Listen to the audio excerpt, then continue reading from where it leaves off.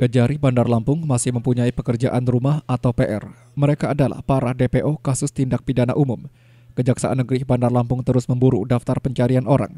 Setidaknya ada empat orang DPO Kejaksaan Negeri Bandar Lampung yang belum berhasil ditangkap. Kasitel Kejaksaan Negeri Bandar Lampung, Angga Mahatama mengatakan para DPO terlibat perkara kasus tindak pidana umum. Mereka adalah W atau Susanti Putri, warga Teluk Betung Utara Bandar Lampung, terjerat perkara penggelapan sebagaimana pasal 372 KUHP, terpidana mendapat vonis pidana penjara selama 15 tahun. Nur Fadilah terjerat perkara kasus penggelapan sebagaimana pasal 372 KUHP telah mendapat vonis pidana penjara selama 3 tahun. Haidir Tihang, warga Tanjung Karang Timur, Bandar Lampung. Ia terjerat perkara pasal 385 Kitab Undang-Undang Hukum Pidana atau KUHP mengatur tentang saksi pidana bagi pelaku penyerobotan tanah. Kemudian Ahmad Ajandi, warga Tanjung Senang, Bandar Lampung, terjerat perkara pasal 385 KUHP mengatur tentang sanksi pidana bagi pelaku penyerobotan tanah. Ia telah mendapat vonis pidana penjara selama satu tahun dan tiga bulan.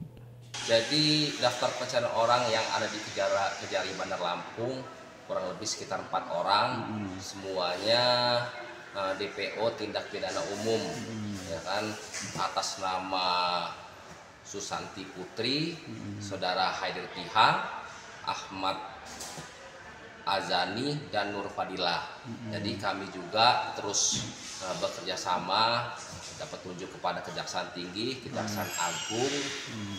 Untuk melakukan penangkapan terhadap para DPO yang sedang dilakukan pencarian oleh Kejari Bandar Lampung. Dan kami juga menghimbau kepada masyarakat atau keluarga yang mengenal terpidana-terpidana tersebut untuk disampaikan kepada kami sehingga eh, para daftar pencarian orang yang ada di khususnya di Bandar Lampung dapat terselesaikan dengan baik dan juga tidak ada uh, yang dapat menghindar dari ancaman hukuman sehingga lebih baiknya uh, para terpidana untuk menyerahkan diri atau nanti tim dari kami akan melakukan penangkapan kepada daftar pencarian orang tersebut. Ya.